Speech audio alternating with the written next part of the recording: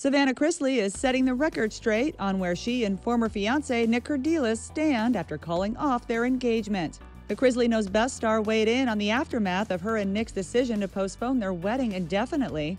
The news was revealed in a recent trailer for the reality show's upcoming season, confirming earlier speculation that ignited when Savannah was seen without her engagement ring and Instagram photos.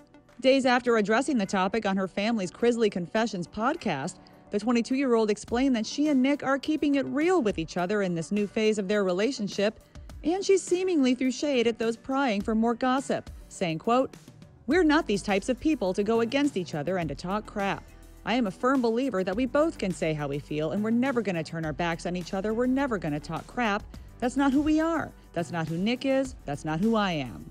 Savannah previously shed light on her and Nic's choice to step back from marriage plans and just date again, sharing on air that there are still important issues to work through before making a lifetime commitment. We made it together. We made it together. We both just realized things moved way too fast and we needed to go back to dating. We have gone from dating to being engaged, breaking off an engagement, now back to dating.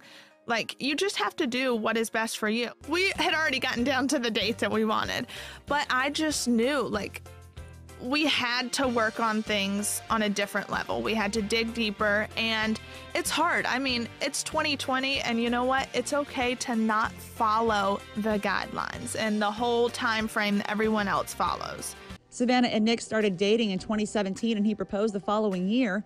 In her latest podcast episode, Savannah went on to hint that it isn't just fans hoping to see more tea get spilled saying an unnamed ex has been trying to stir up drama, but Savannah explained that her and Nic's challenges aren't due to a lack of affection for one another, which actually makes things even more difficult, saying, quote, I wish I had a clear-cut answer for everyone because you know what? I've brought you into my life, I've shown you my personal life, so it's my responsibility to let you know where that stands.